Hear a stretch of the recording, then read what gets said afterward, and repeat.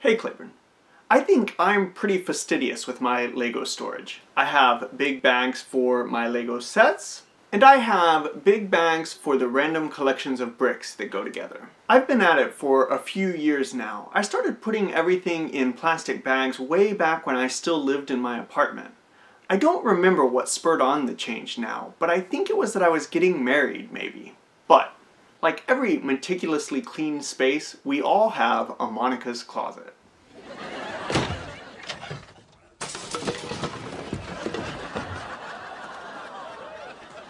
Oh my god!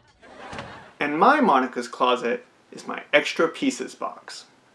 I've had an extra pieces box since I started sorting Legos. It started as one of many boxes, each with its own Lego color in it, because that's how all of my pieces were sorted before I went to Set Archival.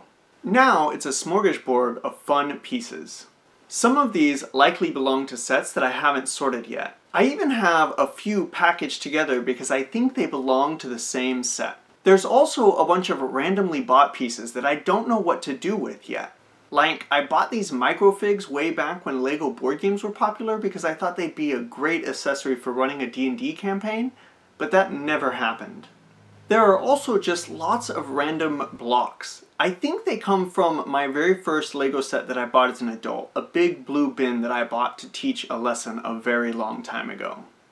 I'll also occasionally throw a duplicate set or minifig in here, like the Disco Roller Girl. But the majority of the pieces in here are all of the extra pieces that come from sets. There are extra cheese slopes and pipes and minifig accessories. Oh, and here's all of the pieces from the defunct LEGO Life of George app.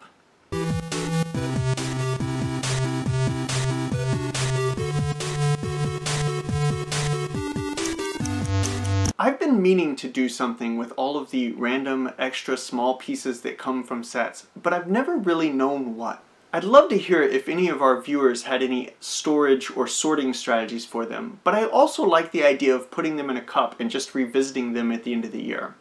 That's probably better than just a big box. I'm going to put them in this pick-a-brick cup for now because I don't have one of those cool containers that you do, but I definitely think I'll pick one up. Then, at the end of this year, maybe we can build something with them. I'll talk to you soon, Clayburn. Over and out.